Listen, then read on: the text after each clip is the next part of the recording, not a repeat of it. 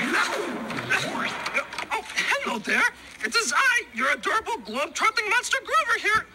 Uh, Wait one minute. Uh, I have to put down this very heavy bucket of fish. Whew! Much better.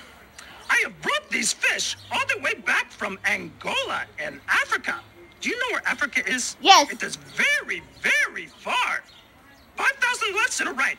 That is why my cute little arms are so tired. See how tired they are?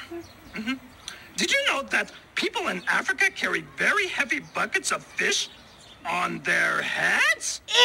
Yes, it is true. No, it's not true. I will show you. Roll tape. Watch this. See, they are carrying buckets on their heads. First, the fishermen must catch the fish out in their fishing boats. They catch the fish by putting very long nets into the water and then pulling them back into the boat. Oh my goodness, that is a very big fish. Huge. It is one of the biggest fish this monster has ever seen. It takes two people to carry it. They have also caught little fish too. The women put all the fish in their buckets and then carry those heavy, fishy filled buckets on their heads back to the village to dry. They must have very strong nets, don't you think? Look, some of the men in the village are playing drums. Everyone is so happy they caught so many fish.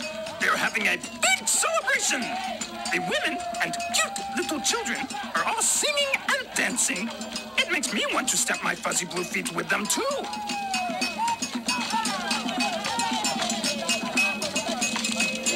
I saw a boy wearing a Hulk shirt. Oh my goodness! She has that really big fish bounced on her head. My, all this dancing is going to make everybody very hungry. Good thing they can eat a nice fish dinner afterwards. Goodbye, African village.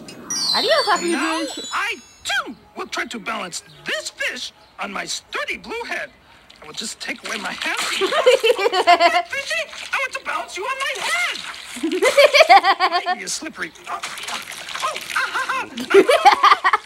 I'm tickly too. Oh, oh, oh, my, feet.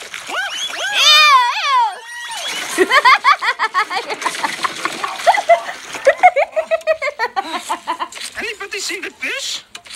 I have it! Fishy! Something very fishy is going on around here. Fishy?